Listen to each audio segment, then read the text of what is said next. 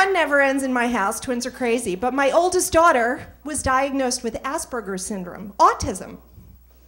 Oh, it's all good. No, no, no. It's great. Oh my God, it's so great. Asperger's syndrome, for those of you who don't know, is actually a highly functioning form of autism. These people are super smart, but they have trouble connecting emotionally to people.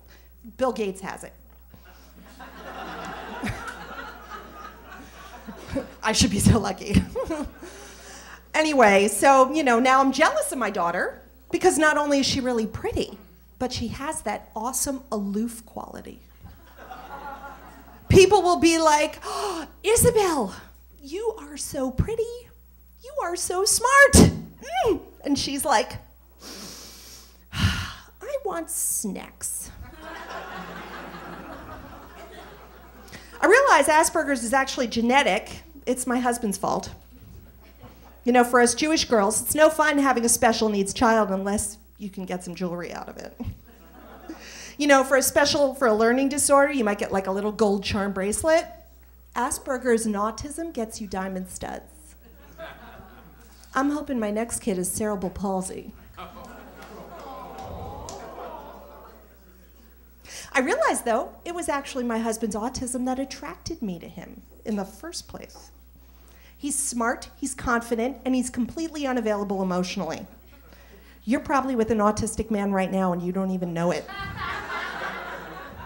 we love that stuff. Women love that stuff. Oh my God, autism, I want some. Ask yourself these questions. You know, is he smart? Is he self centered? Does he not care enough about you? If you've answered yes to any of these questions, you're with an autistic man. the beauty of autism is that it usually comes packaged with something else fabulous, like OCD. My husband not only has autism, but he has OCD, and you have no idea what it's like having sex with my husband, but I'll paint a picture for you.